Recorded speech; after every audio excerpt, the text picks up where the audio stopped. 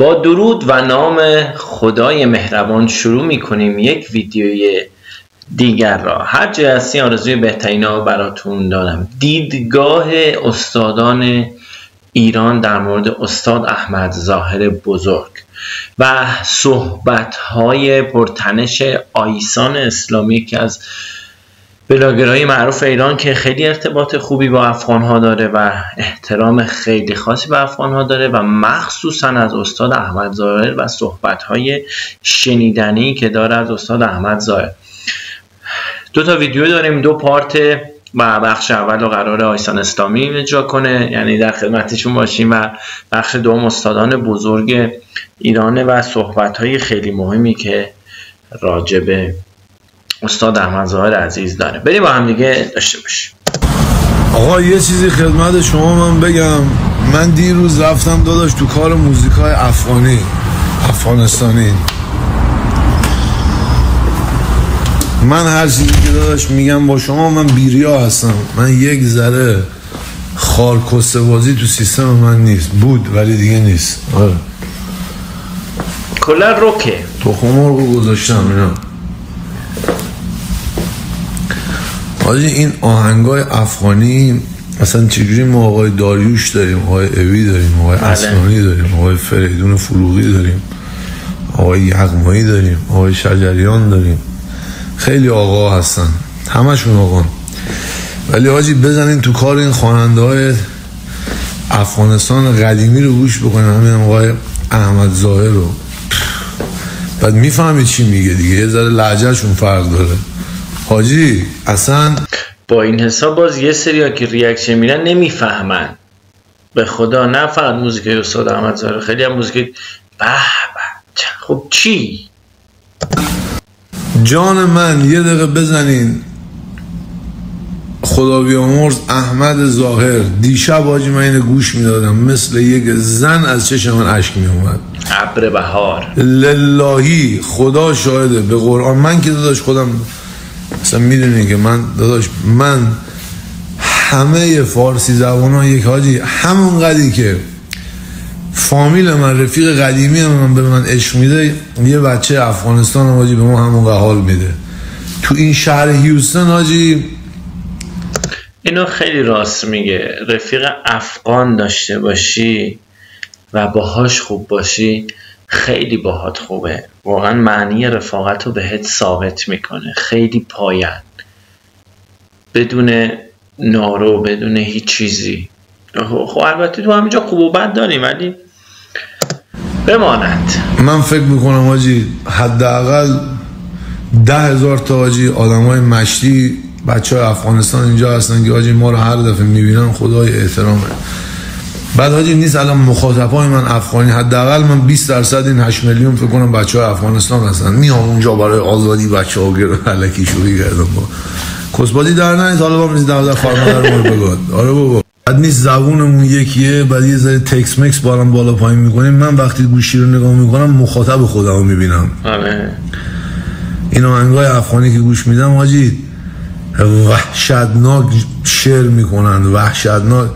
میگم حاجی شما افغانی ها که انقدر با هم متحدین انقدر پشت سر هم هستین چجوری شد؟ اینا اومدن اونجا اونا خوشون اونجا سیستم ما این شما آره. حالا میگم من برنامه که دو تا کشور رو با هم جفت بکنم دریای سرخ رو بتونم دریای مدیترانه بدونم زه کشی کنم به سمت رودهایی که کشاورزان بتونن خودشون راحت بکنم بچه افغانستان تو هیچ جنگی نباخته. می‌دونی چرا دیگه؟ هیچ جنگی. از زمان قدیم الایام هیچ کس نتونست افغانستان رو بگیره. چون مردای افغانستان داداش مردای کوکمرن نمی‌تونن تو کوکمر بگیرنشون. به هیچ وجه. داداش برین تاریخ رو بخونین ببینین افغانستان هیچ وقت شکست خورده هیچ وقت. رئیسا شاید شکست خورده باشن ولی مردم به هیچ وجه نمی‌دونین چرا دیگه؟ چون چریک همه چریک. بچه چریک. اگه با افغانستان درگیر بشی تو خیابون با تو کاری ندارن که. داداش بز کوهی خفن ترین حیوان پروردگاره که می‌دونی دیوار بالا میره. خب؟ آمریکایی ها می‌گفتن تو اسنایپر بز کوهی رو می‌دیدیم. میگو ولی نمی‌دونستیم یه دونه افغانی رو ببینیم اونجا. نمی‌تونستن پیداشون بکنن که. یه ویدیو خیلی جالب بود در مورد اینکه چرا هیچ کشوری نمی‌تونه مثلا هیچ قدرت برتری در دنیا نمی‌تونه افغانستان رو تصرف کنه. به خاطر کوههای خیلی مرتفعشه و دو اینکه خیلی به نقطه ریزی اشاره کرد. همشون واقعا چیریکیان انگار. یعنی هرچی راه خفنه هرچی راه سخته. اون راه و بچه های افغان صاف کردن. اون راه فقط بچه های افغان می‌تونن برن. اینطوریه که تو این جنگ ها همیشه مردان افغان پیریز بودن. دلیلش این دیگه گفت دیگه. اون ویدیو رو خیلی ببینید. همون که هیچ کشوری تا حالا نتوانست کشور افغانستان تصرف کنه. چرا؟ اون خیلی ویدیو باحالیه تو channel هم هست. می‌تونید سرچ کنید ببینید. واقعا خیلی دقیق بهش بررسی شده. برای همین افغانستان تو هیچ جنگی نباخته. تو هیچ جنگی. هیچ کس نتونست تصرفش بکنه. چرا؟ چون چریکا میرن تو کوه آره همه رو میگن. آره. منم داداش دروغ به شما نگه همسایه منه بچه محل منن هم زبان منن. همونقدر که شما داداش هستیم منم هستم داداش. ولی دروغ نگم دیگه. من چون خودم ایرانی هستم. می‌گیری چی میگم؟ ما ایرانی ها عاشق شما هستیم. همه با هم. آره. بعد جیگر خوب و بد همه جا هست. ببین مثلا اگه شما میان ایران ایران داداش کشور شماست. اگر میان ایران کار می‌کنین پول در میارین خب آره اگه دخترمه منو نگاه بکنی دروغ چرا بگم؟ من میگم کار دو بکنن تو کلیت کل آب کلیت رو بریزن همه رو تو خیابون شریعتی. یا اگر من میام تو افغانستان شما به من دارین حال میدین من باید اونجا شکرگزار باشم باید ناموس پرست شما باشم. باید محافظت از ناموس بکنم اونجا. مثل منی که رفته بودم اونجا. خب من اونجا دو تا چشیرونی می‌کردم دو تا حرف بعد رو من دخترم کم دیدم. بازار رو اذیت می‌کردم یا هر کاری می‌کردم قطعا منو مجازات می‌کردن. این بچه آدم سرم انداختم پایین رفتم دیدم گشتم هزار عشق و حال کردیم با بچه ها و ده برابر صد برابرش رو به هم پس دادم این مهمون نوازیه. چرا؟ چون رفتار خودم هم درست بوده. خب تو برو اونجا برو به یه نفر چرت و پرت بگو. همونجا آویزونت می‌کنن. سرباز شما باشم من اگه بیام تو افغانستان یه کاری بکنم شما می‌تونین بزنین تعال منو بودنیم چه سوراخ بکنین. یا با پنجه بوکس بزنین فک منو بشکنین. فهمیدی چوری شد؟ ولی اگه همه با هم احترام بذاریم ما همه برادر هستیم داداش. چه دروغ برای چی بگم؟ ما با یه اروپایی ما با هم نز... الان یه افغانستانی به ایرانی نزدیکتره تا آلمانی دیگه نیست مگه؟ چرا؟ فهمیدی چی شد؟ آره ما هم با در کنار هم دیگه باشیم چون به زودی ما هم با هم اتصال پیدا می‌کنیم جفت میشیم همه با هم. آره داداش بعد یه چیزی یاد باشه. الان یه سری افغانستانی های مدرن یه سری ایرانی های مدرن. نه این مملکت که درست بشون نیست که این مردم مشروب آزاد بکنی که همدیگه رو می‌خورن. نه نه نه داداش نه. همون جوری که مردم تو ده دقیقه خراب میشن تو ده ثانیه درست میشن. زندگی درست بشه همه چی میزون بشه همه بلدن چجوری زندگی بکنن. چون شما یادت نره هر انسان در آخر یه مغز برای خودش داره برای آرامش خودش تلاش می‌کنه. همه چی وفق مراد باشه یه درصد چموش بازی شاد در بیارن امثال من. ولی 99 درصد دیگه امثال شما زندگی راحتی می‌کنن. پس فکر نکن آره مملکت هم اگه یه چیزی بشه؟ تا درست بشه ما مردیم. نه داداش تو شیش ماه همه چی درست میشه. خیالت راحت برادر من. تو شیش ماه همه چی درست میشه. آره ما برادر هستیم با. شما اونجا هستیم برادر افغانی من در ایران. مردم ایران یه ذره اعصاباشون خرابه گرفتارن وضعیت زندگیشون. والله وضعیت زندگی شما بهتره. اعصاباشون خرابه. با اینا برادری بکنین با مردم با مردم ایران برادری بکنین.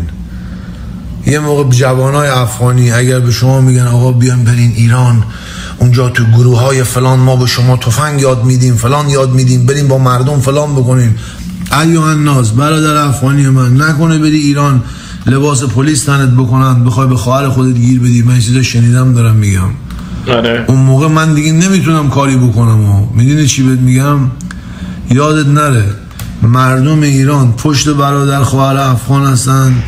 خواهر برادر افغان هم پشت مردم ایران. در آخر اگر شما تاریخ رو نگاه بکنی همه اجاره نشین ها رفتن صاحب خانه ها موندن. صاحب خانه میشیم من و توی مستضعفی که در کشور خودمون داریم زندگی می‌کنیم. دقیقا درسته و به نکته درستی اشاره کرد. صحبت هایی که در مورد استاد احمد ظاهر کرد و در ادامه بحث آورد رو برادری و دوستی و خب به هر حال از یک جایی باید اتصال پیدا کنه.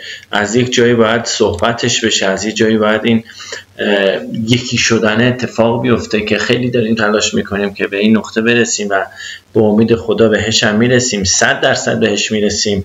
بریم صحبت های استادان رو بشنیم در مورد استاد و ببینیم تا کجا پیش میره. احمد زایر به نظر من قبل از اینکه خواننده باشد داننده بود. و اگر ما امروز می‌گوییم احمد زایر ارکان هنری و معنوی و تأثیر گذار احمد زایر چه چیزهایی بودند که باید نسل جوان بویژه در راستای حرکات کمی و کیفی پیرو اون باشه. احمد زایر صدا داشت. تنها صداست که میماند.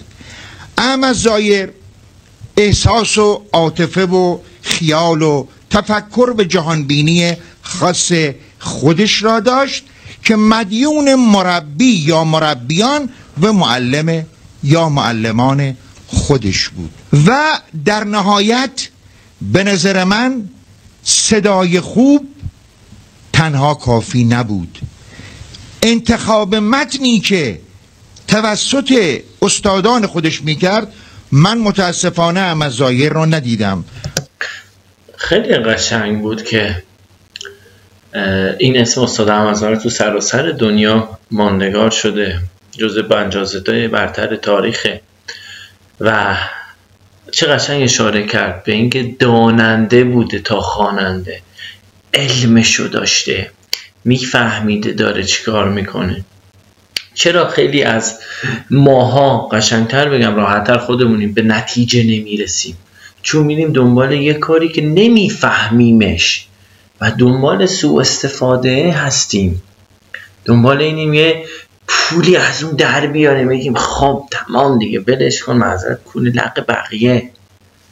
چرا نباید اول علمش رو به دست بیاریم اول سوادش رو به دست بیاریم. از ری... حتی سیب زمینی فروشی هم تو باید اول بلدش باشی. نه اینکه خب من می‌تونم برم سیب زمینی فروش باشم. ولی خب چون بلد نیستم خب بدبخت میشم. هر کاری داره در مورد هنر صحبت می‌کنه. یه چیزی که خیلی برای چی خیلی هم. یه سنگ و با اینو بلند کنی الان میره یه خواننده در اومد. هر کی میکروفون می دستش شروع می‌کنه خب آقا نمی‌فهمی آبروی بقیه هم نبرین ولی اطمینان و ایمان کامل دارم که ایشون یک مشاور فرهنگی سیاسی تاریخی معنوی بسیار قوی داشتند احمد زایر درد مشترک تاریخی مردم ماورا و نرو خراسان بزرگ است. بله. و در نهایت درد مشترک پاره از مشرق زمین است. یک شعر احمد زایر نیست که بی پیام باشد بی ندا باشد بی معنا و بی معنویت باشد بی هویت باشد. این از کجا می آید فقط ما بگیم صداش خوب بوده؟ نه صدا نمی‌تونه عاملی باشه برای تشخص و تعین و ماندگاری یک هنرمند خواننده در طول تاریخ. صدا الان صدای هومنم خیلی خوبه. من واقعا صداشو خیلی دوست دارم. خب چی کار کنه بیاد خوانندگی کنه وقتی حالا من هومن صدا می‌زنم رفیقیم دوستیم هیچ مشکلی با هم نداریم. چی کار کنه؟ بیاد مثلا اون همه میکروفون دستش بگیره. برای این دارم مثال می‌زنم که به خیلی ها بر نخوره. خیلی ها هستن بیننده ها که یه صدایی دارن و هیچ علمی ندارن. دو نفر ازشون تعریف کرده فکر می‌کنن خبری. نه برادر من عزیز من صدا داری قبول برو درسش رو بخون علمش یاد بگیر هنرش یاد بگیر. بیا ببین چطوری میتره کنی.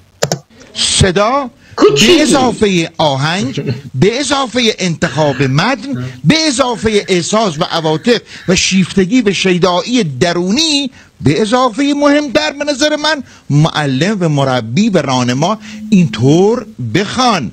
که متن در دل و جان بنشیند همچنان که از دل و جان برآمده. ای پادشه خوبان داد از غم تنهایی. حالا این تنهایی تنها تنها بودن فیزیکی ما در یک کنج خانه نیست. بنابراین ما بیاییم یه مقدار ریشه ایتر عمیقتر برخورد بکنیم و اون نمونه ها و نمودارهای فکری ذهنی معنوی آرمانی و به قول جامعه اوتوپیایی یا ایران شهری یا آرمان شهری هنرمندان را به طور کلی شاعر باشه نویسنده باشه آکتور باشه رسام باشه نقاش باشه نویسنده باشه نشان بدهیم. من ورای ظاهر میاندیشم. من به جای نگاه کردن به سطح آب و به حباب های کف آب به مرواریدهای اقیانوس تا آب میاندیشم و امزایر رو باید با اقیانوس خودش و مرواریدهای خودش بشناسیم. به اعتبار اینکه جایگاه امزایر در مشرق زمین بویژه در حوزه ادیبان و فارزبانان جهان و تأثیری که روی تأثیری که روی بسیاری از جریان های خوانندگی و حافظی گذاشته برای من بسیار محترم و معتبر و مکرم و معزز و معظم هست. اگر ما نمی‌توانیم هم صدای امزایر عزیز باشیم اگر نمی‌توانیم هم هنر و هم نوای استاد زنده یاد روانشاد اما زایر عزیز باشیم. حداقل بیاییم بنا به ادعایی که می‌کنیم. خصوصیات روحی روانی رفتاری کرداری مر محبت احساس عواطف انسانی امزایر را در عمل نشان بدیم. همینو بس. درود بر شما درود بر شما. چه قشنگ بر اساس صحبت کردن. و چقدر دلنشین. بچه این صحبت ها یعنی این جلسه ای که تشکیل شده بود حالا یاد بود استاد احمد بود هر چیزی. فکر کنم در تاجیکستان برگزار شد و این دوستمون هم ایرانی بوده که دعوت شده. هرچی از استاد احمد ظاهر بگیم کمه و هر کس بتونه یه خصلتش رو بیشتر نه در خود داشته باشه خیلی می‌تونه به زندگی خودش به زندگی خودش کمک کنه. مرسی که بودین. خیلی چکریم تا ویدیو بعد. بای بای.